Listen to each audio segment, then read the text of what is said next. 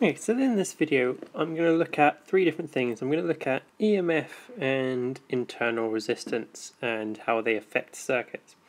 And then the other thing I'm going to look at is different types of error, so looking at different types of errors and examples of them in circuitry. Okay, so first of all, EMF and terminal voltage. So, so far we've assumed all of the cells or power sources we are using don't have any internal resistance, so they deliver their full EMF to the circuit. Whereas in practice, this is exactly not the case, that's not what happens. There are always losses inside a battery, and that's called internal resistance.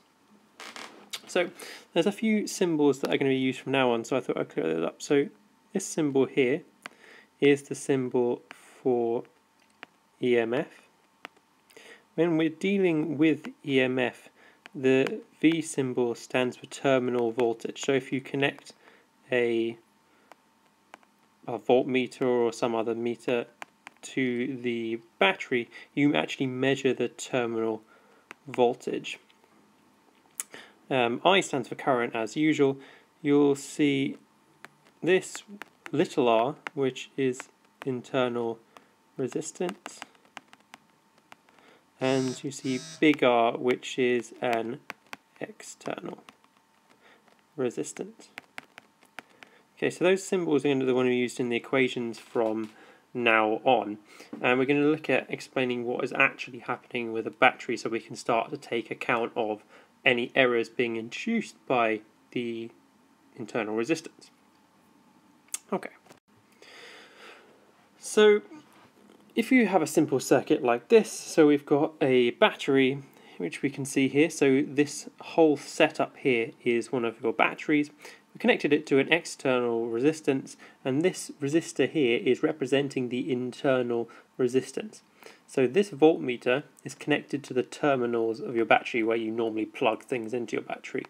So this is inside the battery. And then this cell is supplying the EMF of the battery. So using Kirchhoff's voltage law in a series, so the sum of potential difference around a series loop is equal to the sum of the EMF. So the EMF is just the EMF from your power source. So that's there on this side. And the sum of the potential differences, you'll have a potential drop across this resistor here. So that will be I little r, and a potential drop across the big resistor, which will be I big R. And you get this equation, which we use when we're dealing with EMF and internal resistance. So we want to introduce terminal voltage into this.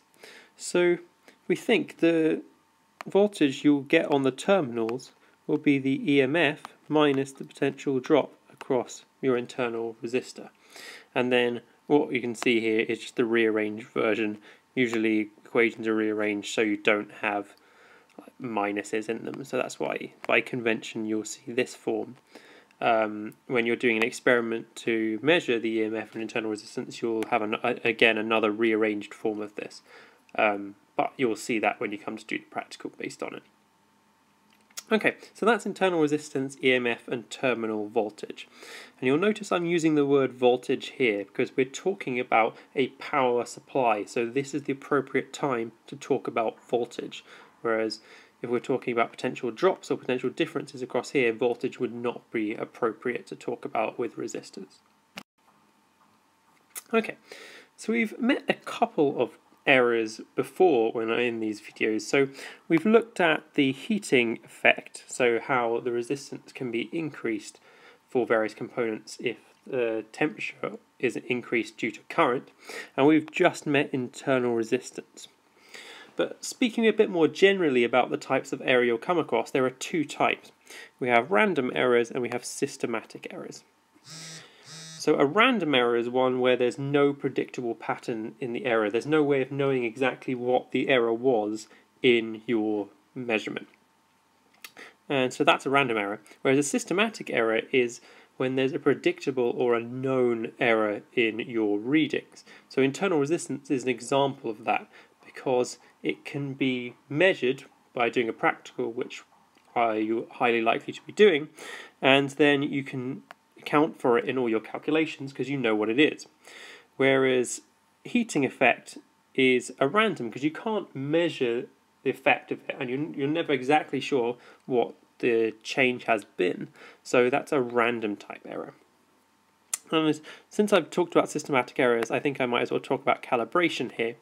So when you calibrate an instrument, what you're doing is you're taking account of the fact that you know there's already errors. So what you can do is you can subtract the error or add the error depending on how the error worked to your reading to get the real value without the systematic error in it, and that's called calibration. So let's have a look at some other types of circuitry errors and more general errors. So another more general type of error, this is called zero error. So this is a specific type of systematic error. So what it is, is when you have a measuring instrument that reads a non-zero value, so like 20 volts or something, when it's supposed to be reading zero volts.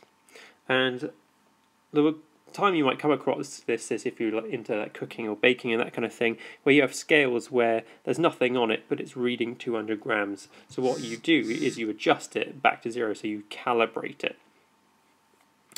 So that's another type of error you'll come across, and that is often an error you might come across in circuitry where you've got an ammeter or a voltmeter that's not reading zero when it should be. And that's a common problem you'll come across.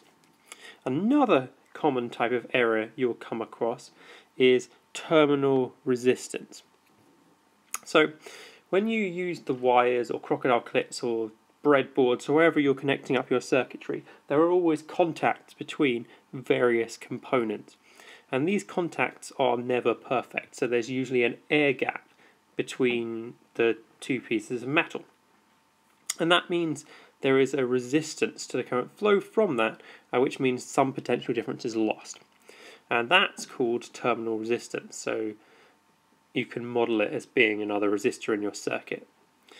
Um, but the problem is that whenever you're changing contacts, because obviously we're constantly clipping and unclipping crocodile clips, taking components and putting them out, we're never exactly sure what the contact is like. Sometimes we'll get better contact, sometimes worse. So it's a random type error, but it's something you'll get whatever kind of circuit you're doing.